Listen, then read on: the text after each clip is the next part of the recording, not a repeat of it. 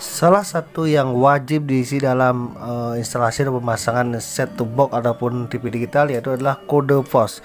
Kode pos itu sendiri harus diisi sesuai dengan wilayah kita masing-masing. Sebenarnya apa sih apa sih fungsi dari kode pos ini dan apa akibatnya kalau kita tidak mengisi sesuai dengan wilayah kita? Oke, saya kali ini saya akan membahas fungsi kode pos pada TV digital harus diisi sesuai dengan uh, wilayah kita masing-masing. Buat teman-teman yang baru mampir di channel ini jangan lupa untuk like, komen, dan subscribe. Like, komen, dan subscribe itu udah gratis dan itu adalah sebuah dukungan bagi saya untuk terus memberikan informasi tentang TV digital. Salah satu teknologi yang ada pada siaran TV digital itu sendiri adalah Early Warning System atau yang disebut EWS atau peringatan dini kebencanaan. Jadi inilah fungsi dari kode pos tersebut harus diisi sesuai dengan wilayah kita masing-masing. Jadi kita tidak boleh sembarangan untuk mengisi kode pos ini dan ini memang sangat riskan sekali kalau kita mengisi asal-asalan atau beda wilayah beda daerah ini sangat riskan sekali. Jadi seperti ini contohnya. Kode pos ini kita harus isi dengan wilayah kita masing-masing.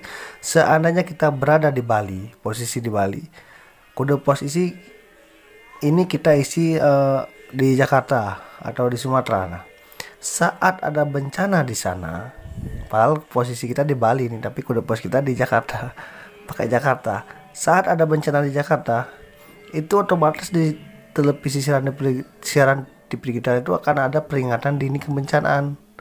Jadi kan kita bisa panik padahal di daerah kita tidak ada bencana. Nah, seperti itu. Dan kebalikannya kalau di daerah kita ada bencana, kita tidak mendapatkan peringatan dini tsunami karena kode pos yang kita isi itu adalah di, di luar wilayah kita. Jadi ini resikonya sangat sangat penting sekali dan ini kode pos ini fungsinya sangat penting sekali peringatan dini kebencanaan ini bagi kita semua sangat penting sekali. Jadi teman-teman silahkan isi kode pos sesuai dengan wilayah teman-teman masing-masing. Jadi bagaimana sih kalau eh, teman-teman sudah membeli uh, set top box atau DVD digital itu di luar wilayah? Mungkin uh, uh, set box atau DVD kita bawa ke kampung. Jadi bagaimana kita untuk merubahnya? Seperti ini. Untuk merubahnya teman-teman masuk aja ke menu.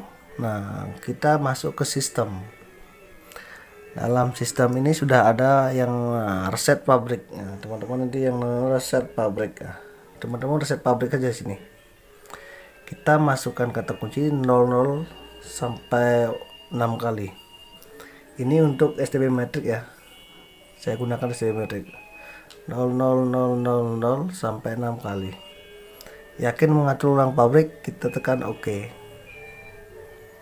kita tunggu sebentar. Nah ini caranya untuk merubah kalau kita membeli perangkat STB ataupun e, perangkat TV digital itu di luar di luar wilayah kita.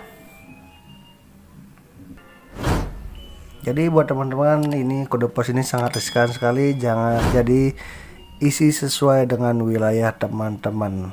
Karena ini demi kebaikan kita semua.